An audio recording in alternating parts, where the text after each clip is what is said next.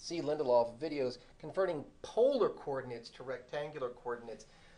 So I got a little flack about this from people because I did a video on how to do this the other way with the with the TR Inspire, Nspire CAS.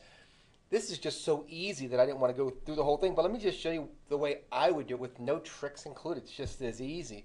Remember that the x value is r sine theta, where r is the uh, directed distance, and the y value is r cosine theta. So look, I'm just going to move over and show you this really quickly. So given a polar coordinate r theta, they're going to tell you that it's a polar coordinate. They're going to tell you that this is a polar coordinate. So when they tell you that, you can assume that this is the dis this is the directed distance, and that this is the uh, angular value. Then a rectangular coordinate could be found by evaluating just this. Easy, right?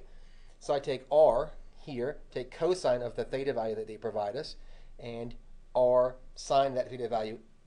So let's just do this really quick. I'm going to slow down, but this is easy. You don't have to do much trickery to on your calculator to do this. So let's just look at it real quick. So remember we have the the point, the polar point 2 pi. So this is what I'm going to do.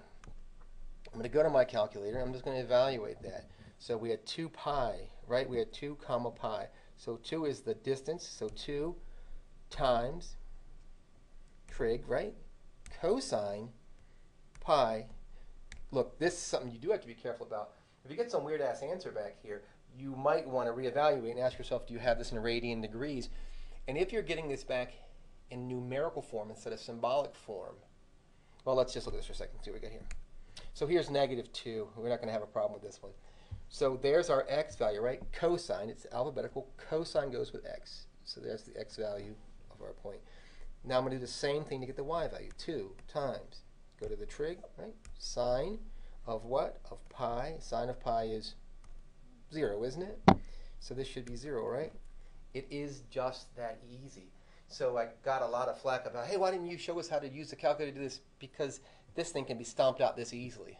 It's not something you have to think about much. Going the other way is a little bit trickier. But if I had to do this and I was trying to do it with the greatest expedience I could possibly get, this is the way I would do it. I, it really is. So I hope this is helpful. I tried to keep the video short. Uh, if you have any uh, comments or questions, let me know. And if you haven't already subscribed, please